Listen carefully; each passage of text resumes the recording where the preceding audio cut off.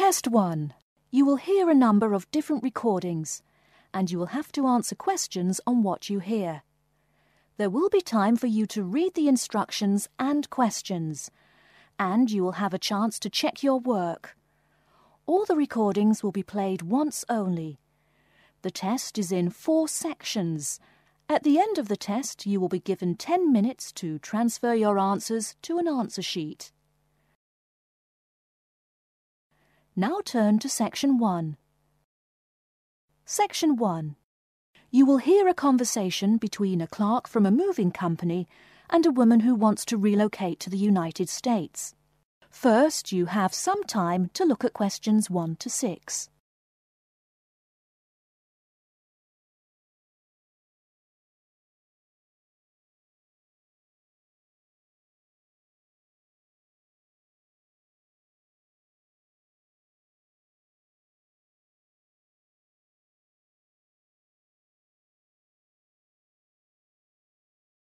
You will see that there is an example which has been done for you. On this occasion only, the conversation relating to this will be played first. Good morning, ma'am, and welcome to Australia's Moving Experience. How can I help you? Well, I, I hope you can help me. I'm so up in the air right now. Uh... Just calm down now. Let me guess. You're moving and it has you a little confused. That's it exactly.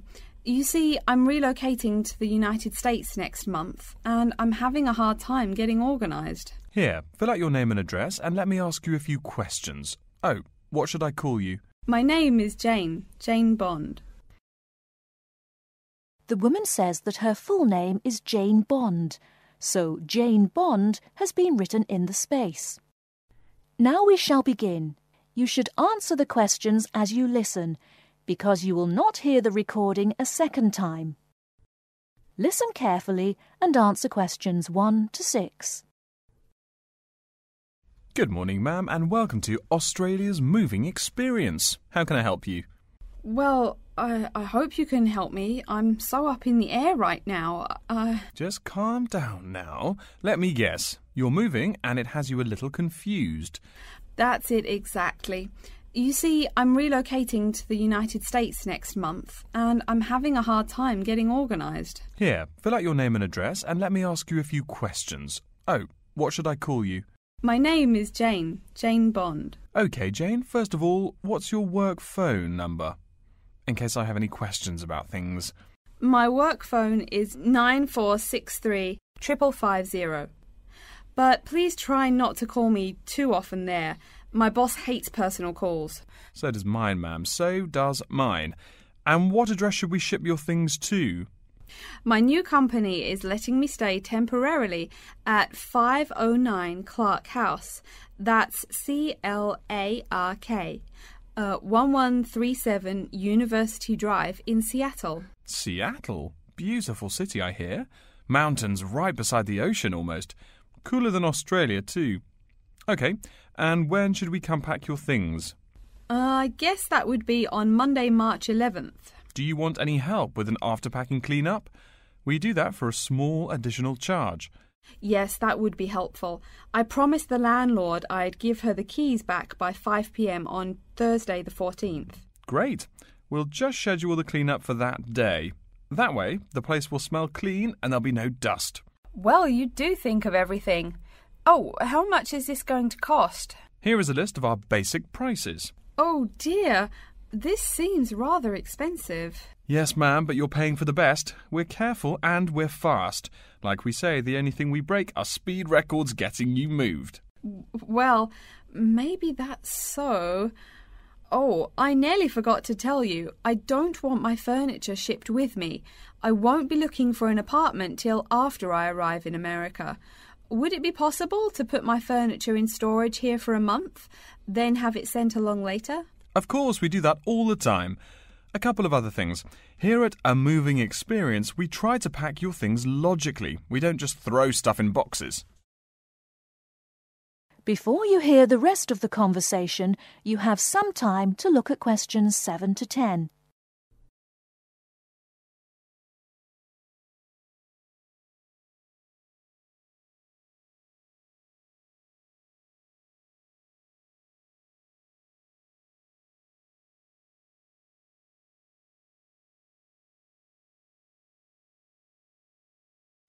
Now listen and answer questions 7 to 10. Do you have any special requests? You know, things you want packed in some special place so you know where to find them. Like what? Oh, I don't know, things like dishes maybe. Not to be rude, but you look like a lady who likes to eat. Ah, yes, I need my dishes and things where I can find them quickly. Great. We'll put those dishes and cutlery in what we call the emergency pack. Can you think of anything else? Mm, I do have an antique tea kettle my great grandmother gave my mother. I wouldn't want to lose that. So I guess you'd better put that in storage with the furniture. Grandma's tea kettle with the furniture. Got it. Say, how about things like your alarm clock? You don't want to miss your plane on the big day, right? Well, you certainly think of everything. Yes, that's right. I'll also need my alarm clock where I can find it. Fine, we'll put that in your personal package. And of course, we'll give you a list of where we pack everything. So all you'll have to do on Thursday the 14th is grab your luggage on your way out the door. Um, I couldn't help noticing the new CD player you're carrying. Is that a Samsung? Why, yes, it is. One of their best. Cost me nearly a hundred dollars, it did. Do you want to take special care of it? I mean, it's brand new. Take care of it, but nothing special. You can just put it in storage with the furniture. That looks like everything we need here. I guess you're all set. That was certainly quick. Thank you, young man. This has been a most moving experience. That is the end of section 1. You now have half a minute to check your answers.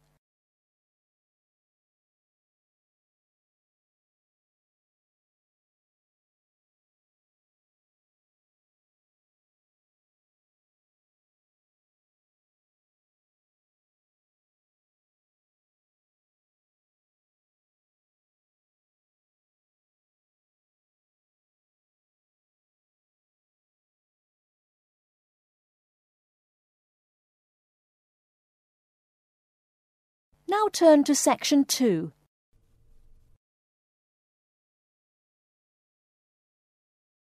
Section 2.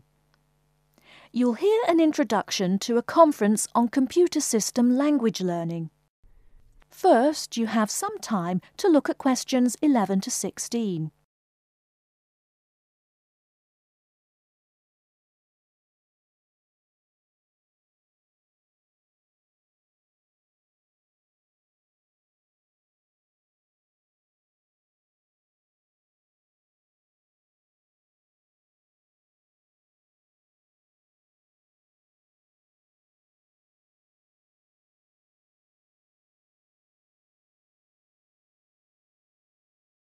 Now, listen carefully and answer questions 11 to 16.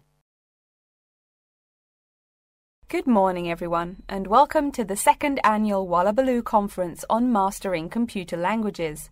I hope you all had a good trip. Before we get underway with today's program, let me fill you in as to what's on tap for tomorrow, Sunday, February 19th. At 9am, right here in the main hall, we'll be hearing a lecture from Dr. John Smith about computer as teacher. Professor Smith from the University of Melbourne is a world class expert in the field of computer assisted education, and his talk promises to be both stimulating and informative.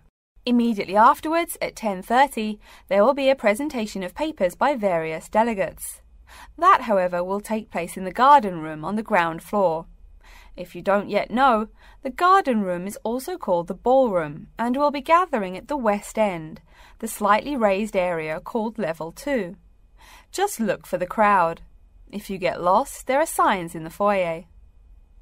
After all that thinking, talking and listening, I expect everyone will be a bit weary. So at 11:15 there will be a break for coffee, cookies and other light refreshments. These will be available at the aptly named refreshment stand, placed by the door back here in the main hall. Also, if you choose to skip the formal lunch, you can buy a packed lunch at the stand for a reasonable price. I strongly urge you, however, to join us at the formal lunch. That won't be till one o'clock sharp, so you have time to stroll about town a bit. We'll be eating at the Seaview restaurant. The restaurant is located right here in the hotel on the top floor. It's a good dozen flights of stairs, so I suggest you take the lift on the ground floor, eh? If you're not fond of fish, there's an all you can eat barbecue available as well. They even offer wallaby meat. After lunch, we'll troop back downstairs to level 2 in the ballroom for the presentation of further papers, which will begin at 2 pm. Please try to be on time. I know you'll be a bit tired after lunch, but the ballroom echoes so with people coming in late. Thank you in advance. Once we've heard the papers, we'll break for afternoon tea at 3:10 p.m. No need to walk. The manager of the refreshment stand has graciously agreed to have tea served in the ballroom. He's even promised us some special scones, baked from a recipe of his dear old Scottish grandmother. Then, tea being drunk and scones munched, we'll retire here to the main hall for some closing remarks and questions. So, by five o'clock, we should have the conference wrapped up.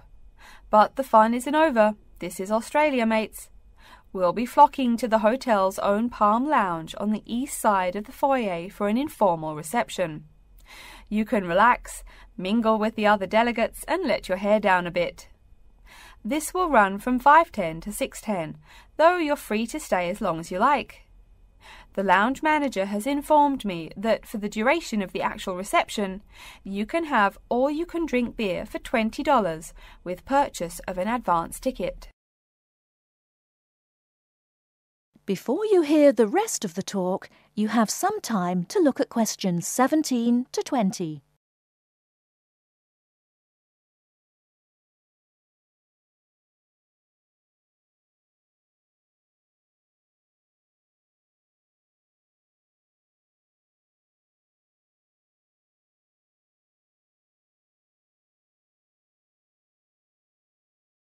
Now listen and answer questions 17 to 20. And yes, tickets can be purchased from any conference organiser or at the front desk any time between now and the start of the reception.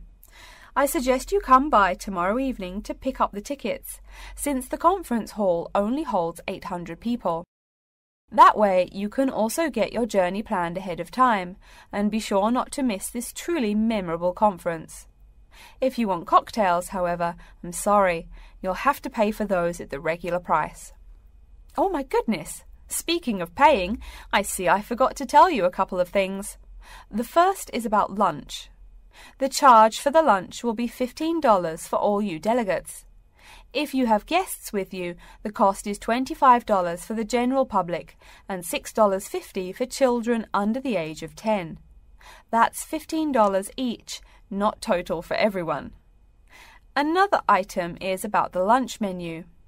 I very much urge you to try the fish. I mean, look at the restaurant's name, the Sea View. As the name suggests, it is a famous seafood restaurant. The chef is a Basque from Spain, and he really gets quite put out when people ignore his fish specialities for burgers or barbecue. If fish isn't your thing, though, try the steak. He makes an exquisite filet mignon topped with blue cheese and mushrooms. Finally, if you'd like to buy a ticket, you can have both lunch and unlimited beer for $35. I should have mentioned that earlier, but I am a bit forgetful. Maybe I should avoid the beer after the conference, eh? Well, I've said my bit. Are there any questions? That is the end of section two. You now have half a minute to check your answers.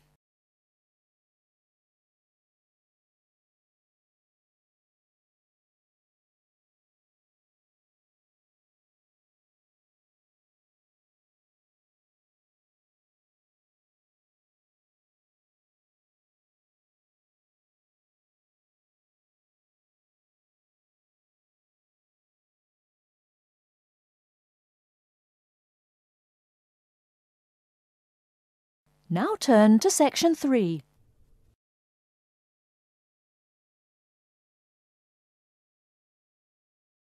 Section 3.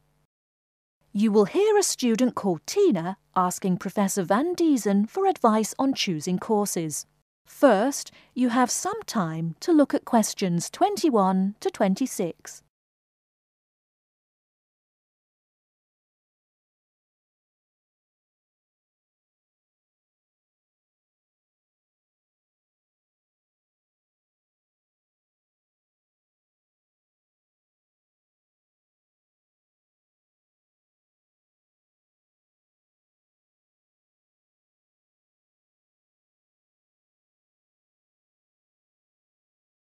Now listen carefully and answer questions 21 to 26.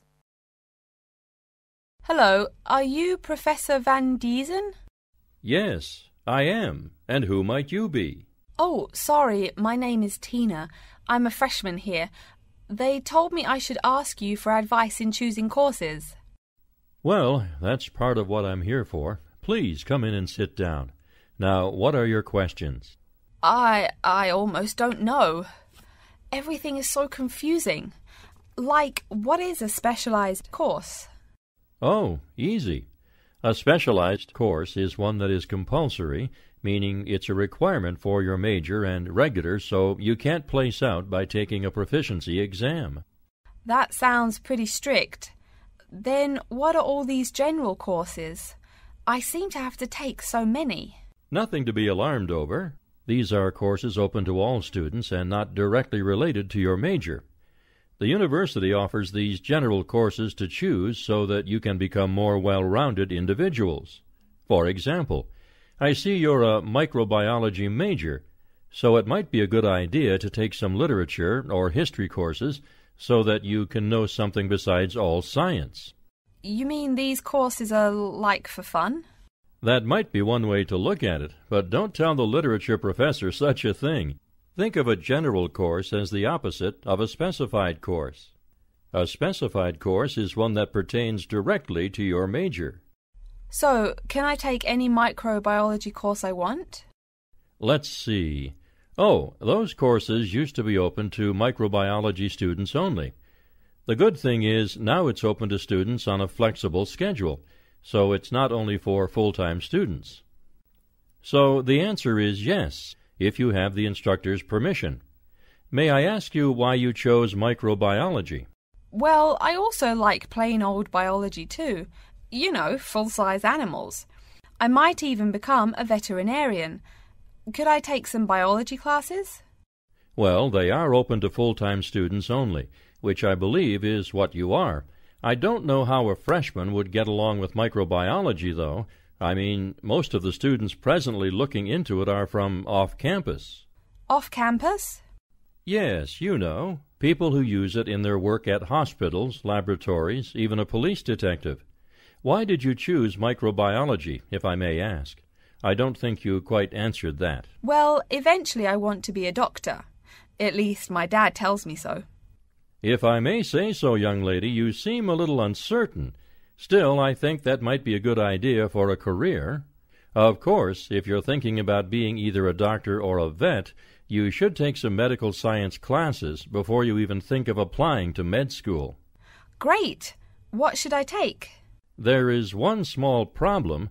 The new medical sciences building is under construction, so there are no experimental facilities available until next year. I'm afraid you'll have to wait but don't forget to take those courses at the first opportunity. Oh, bummer. Is there any other course you'd recommend for someone like me? Well, since you seem to like animals, have you ever thought about looking into environmental science? No, I never really thought about it before. Is it worthwhile? Quite. In fact, it's the fastest growing subject on this campus. Before you hear the rest of the talk, you have some time to look at questions 27 to 30.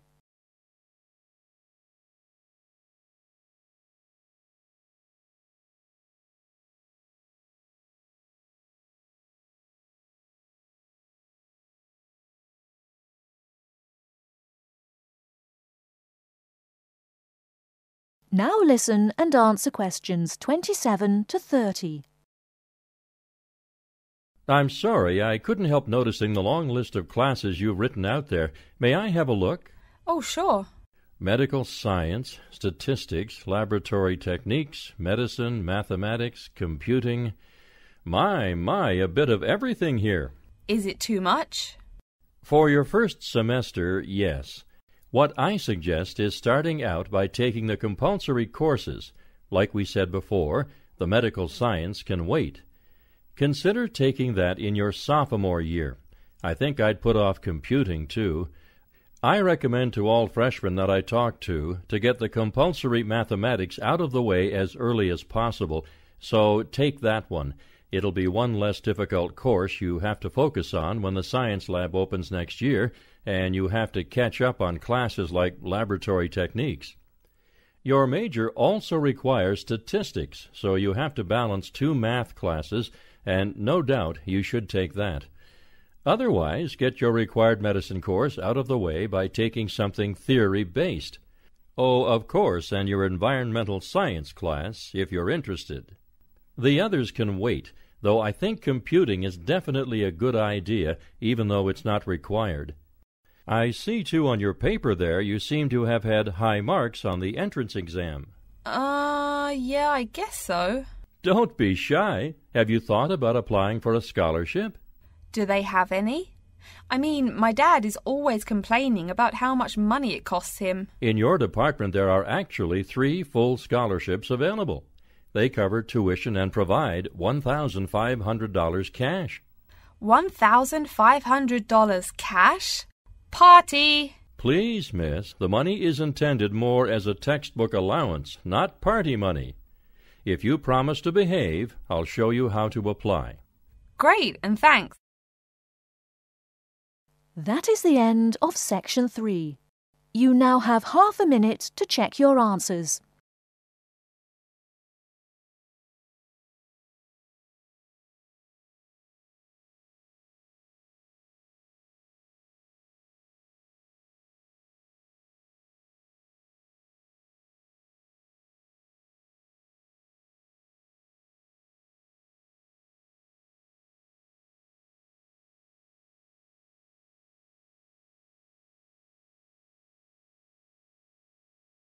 Now turn to section 4.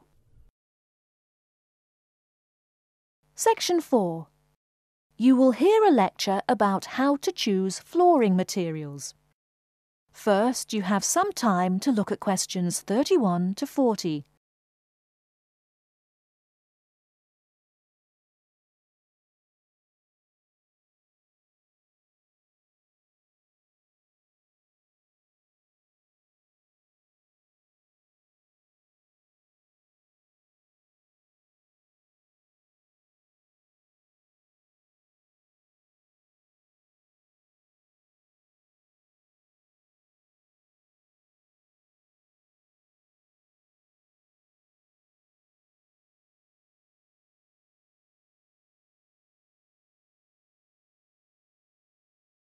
Now listen carefully and answer questions 31 to 40.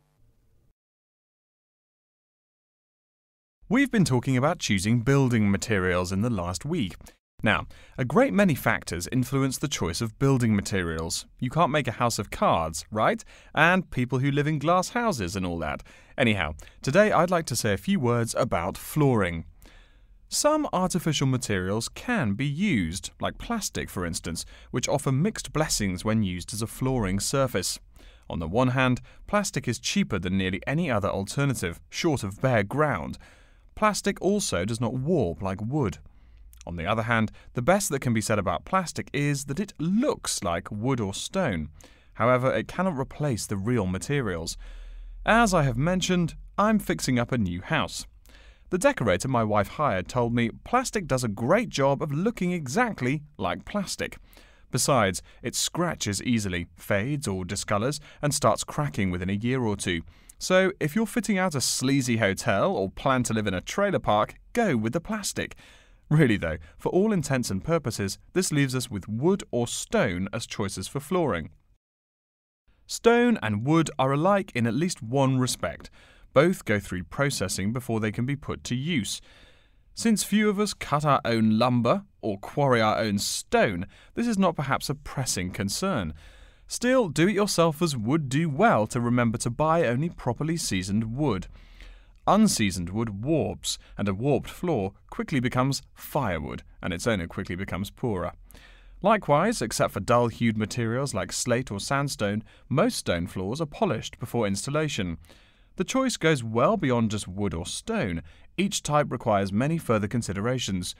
A few special remarks are called for when considering wood, for example. As always, aesthetics, personal taste, and layout all play roles, as well as the type of house or room. Oh, and certainly don't forget the cost. When it comes to cost, a rule of thumb is that the softer and less exotic the wood, the lower the cost. In the US, for instance, pine is both ubiquitous and cheap. Mahogany is imported and exorbitantly expensive. If you're on any kind of budget when remodeling, it's really helpful to remember to go for the softer woods. Aside from cost, there are still lots of different factors that are important in choosing the best flooring for the job.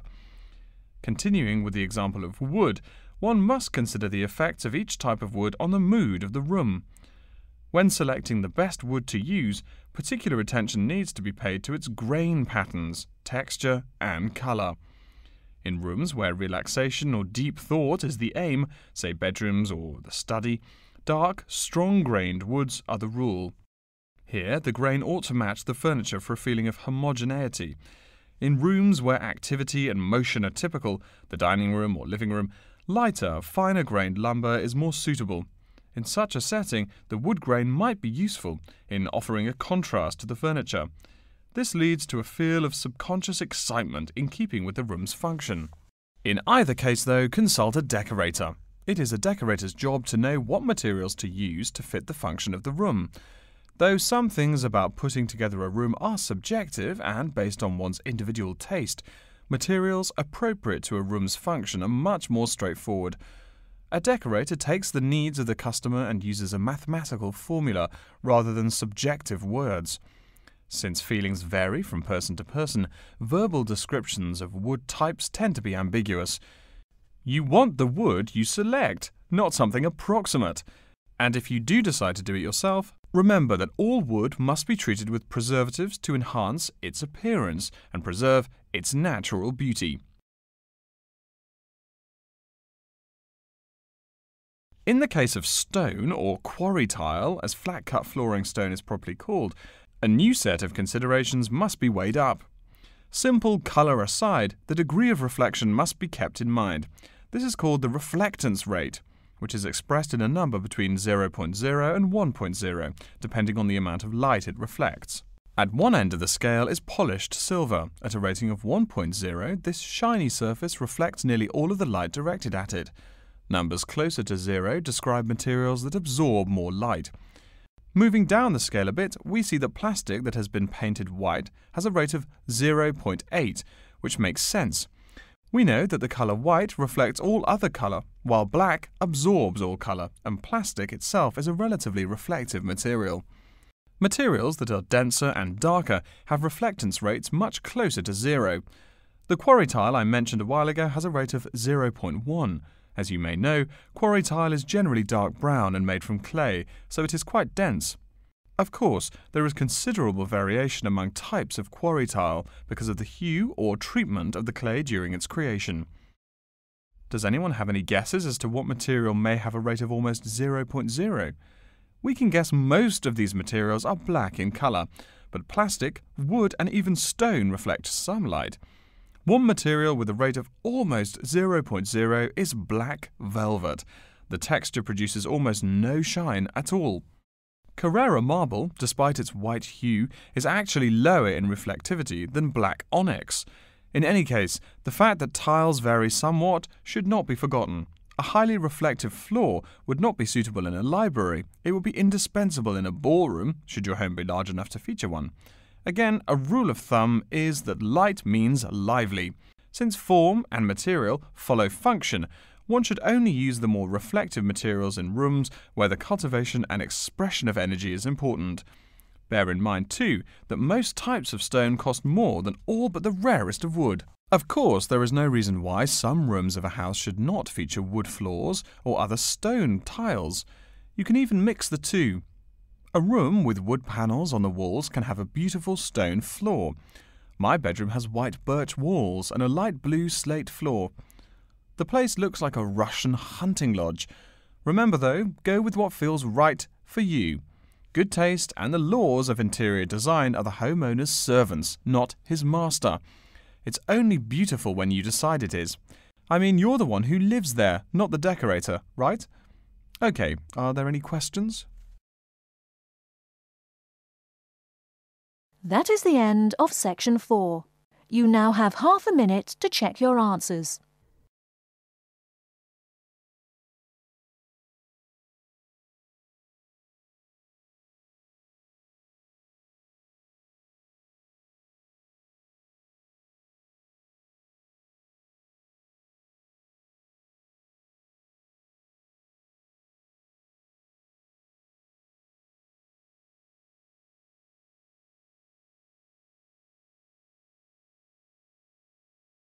That is the end of the listening test. In the IELTS test, you will now have 10 minutes to transfer your answers to an answer sheet.